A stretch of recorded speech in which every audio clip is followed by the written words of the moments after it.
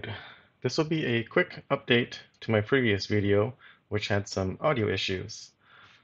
So let's get started. So first start the subroutine, I'll call it format and then we will need to declare a variable. So that would be last row for LR as long.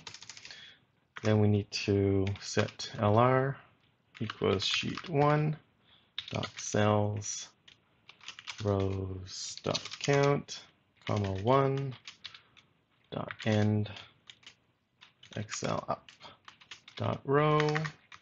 And the reason why we're using this is because we want to uh, downfill the conditional formatting up until the end of your data set. You don't want to do that for the entire sheet. Otherwise, that can uh, slow down your sheet quite a bit. Um, this can also be used uh, for your formulas as well when you want to downfill your formulas. Okay, so next we're going to do with sheet 1, 1.range.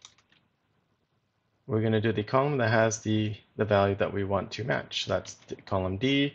Uh, we want to do uh, Japan. So we'll do D2, semicolon D, close off your uh, double brackets, ampersand signed LR.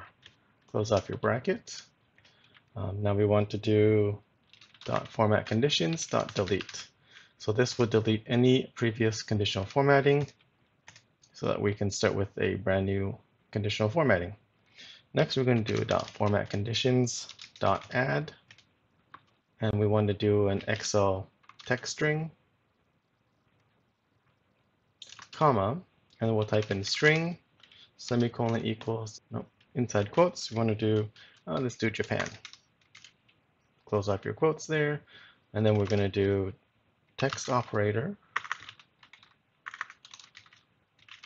operator semicolon equals, we're going to do XL contains. So that means it contains the string. Next, we're going to do, we're going to add the cell color. So we're going to do dot format conditions again. We're going to do in brackets one for the first rule here, and then dot interior dot color equals RGB. I like to use RGB. You don't have to use RGB code if you don't like. And for the color, you can set any color you like. I like to use um, this color. It gives like a, a pink cell color. Dot 199 comma 206. Then we're going to add the text color as well. So dot format conditions, one inside brackets, dot font, dot color equals, again, you can choose any color you like. 156, comma 0, comma 6. And then we're going to do end with. All right, so let's run this code and see there you go. You can see it highlighted Japan. Now if we change this to, uh, let's do Turkey, uh, rerun this code, and there you go. Now if you want to highlight the entire row in your data set, we can also do that as well. We'll just copy this code, name it 2, and then we're just going to change up a few things. So the sheet with sheet 1 range, we want to change this to A2 to D, and the last row. And then we're going to change this up here as well. We're going to delete this. Now we're going to do Excel expression,